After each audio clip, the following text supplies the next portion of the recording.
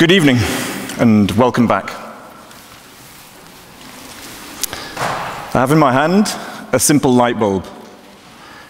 But this light bulb is a symbol of innovation and creativity. Bing!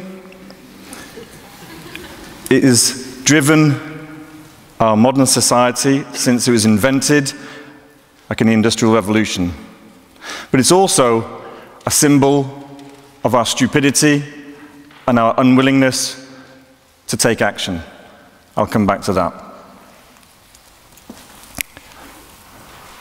There are multiple crises, human induced crises, threatening the planet at the moment deforestation, nutrient loading, pollution, climate change.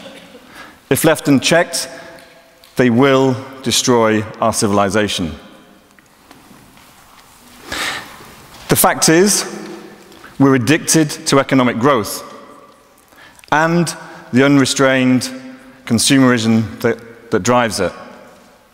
The bulb is not the elephant in this room, we are, including me.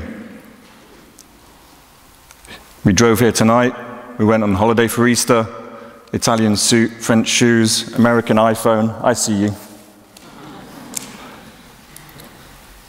Just out of interest, how many of you have switched all your old incandescent light bulbs for energy efficient LEDs? Show of hands, please. Less than, less than half.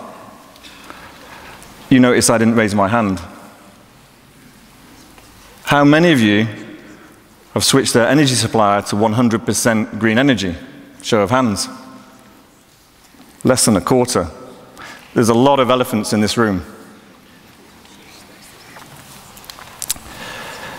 Now, survival is one of the basic human instincts. However, over the duration of human history, many civilizations have destroyed themselves the Mayans, the Greeks, the Romans, and so on. This civilization, the modern civilization, is the first civilization that actually knows we're destroying ourselves. Also, we know how to stop it. We're doing it on a global level, and we're doing it faster than ever before. The topic of my speech tonight is going to focus on climate change. It equates to the story of the frog in hot water. You may have heard it if you put a frog in boiling water. I haven't done it. It jumps out. But if you put a frog in warm water and heat it up slowly, it boils to death. We're the frog, the water is our planet, and the heat is the CO2 emissions. We are consciously heating up our planet, and we're loving it. I'm enjoying it. Now, I could stand here today and show you multiple graphs and proof that CO2 emissions rising means temperature rising, human-induced climate change. However, I'm going to assume in this audience that you agree with the 97% of scientists who believe that climate change is human-induced, um, and leave it at that. Coming back to addiction, the first step to solving addiction is awareness. Now, we've been aware of climate change science for over 100 years. However, we've only recently been, in the 1980s, been aware of the catastrophic consequences that they could bring us. This graph is from 1982. No CO2 emissions, no real temperature change. CO2 emissions from humans, and it forecasts approximately 2 degree temperature rise by 2030. The irony is this graph was presented by ExxonMobil in 1982. And as you know, they went into denial ever since.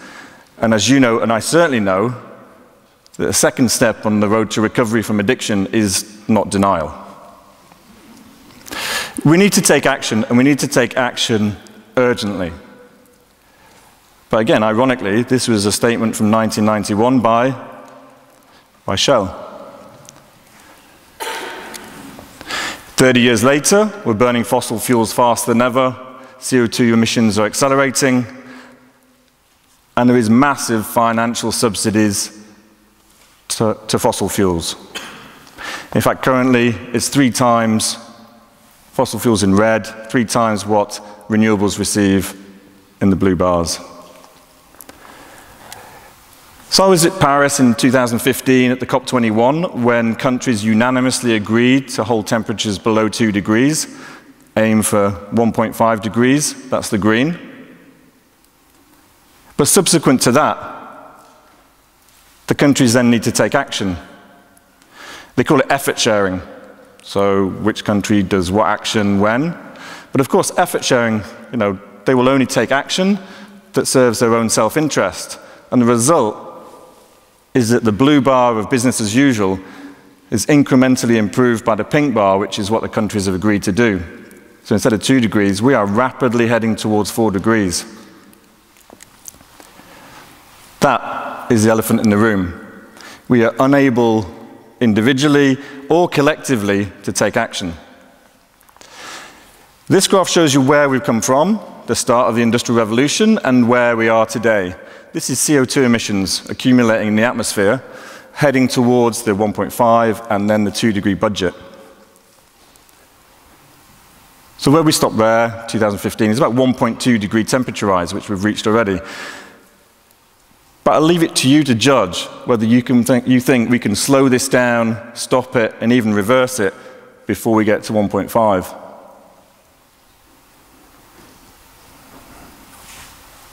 But hopefully makes you think. When will we reach 1.5 and 2 degrees? Well, Carbon Tracker estimate that at current emissions, we'll reach it in six years, and we'll reach 2 degrees in about less than 20 years. It's interesting to note that 2 degree temperature rise is not a comfortable level. It's just a level below which scientists believe, they can't guarantee, they believe will hold climate change, it will not be irreversible or catastrophic.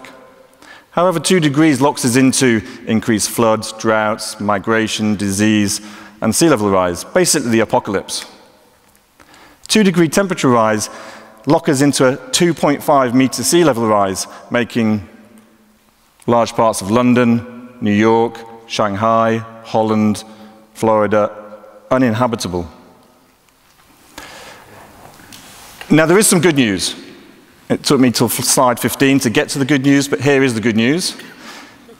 The last two years, we have decoupled CO2 emissions from economic growth so we can continue growing our economy whilst reducing CO2 emissions in orange. And the reason for that is we are undergoing a massive energy transition.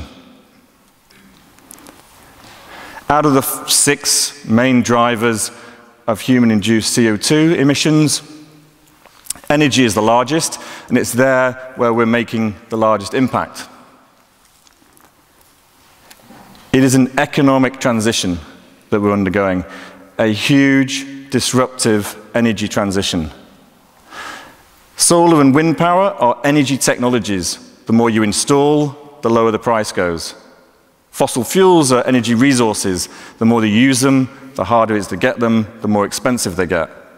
Solar power has reduced in price 99% since 1976 and over 80% in the last eight years and it's continuing to fall by over 10% per year and will do for the next 10 years. It is now cheaper than any other power source in most regions of the world. Even the Museum of Coal in Kentucky, US, is powered by solar. For economic reasons, not environmental. And last Friday, for the first time since fossil fuels were started to be burnt for electricity, the UK electricity system was coal-free. Again, for economic reasons. Clearly, with threat, with challenge comes opportunity. Here's the opportunity, a massive business opportunity. This is uh, solar power growth over the next decades. Renewables are now installing more power per year than fossil fuels.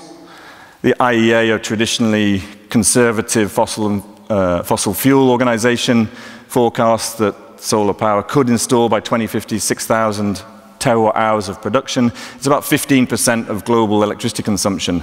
I believe that we could and should bring that forward to about 2030. Again, we need to take action. Solar power creates jobs, In the US alone, over 260,000 people are now employed in the solar industry. That's twice coal. One in 50 new jobs are in the solar industry. And renewables are changing the energy in three ways. The three Ds, we call them. Firstly, decarbonisation. Renewables, wind and solar, are clean, both locally and globally. Secondly, decentralization. Not only does solar power alleviate poverty, but it also provides access to electricity for the 1.2 billion people who don't have it. And finally, decentralized. This is energy independence. Solar power is fast and easy to install, and it allows you to generate your own power. You can self-consume electricity off your roof like you self-consume vegetables from your garden. So we can go far with solar. This is a plane called Solar Impulse. It flew around the world without fuel. But the question is, can we change fast enough? Now, with uncertainty, of course, comes hope. However, I believe leaders are not leaders, they're actually followers. It's up to us to take action, both individually and persuade decision makers to take action. We need to take a precautionary principle. Solar power is a no regret solution, but will we survive? Will we? Well, the bulb is now in your hands.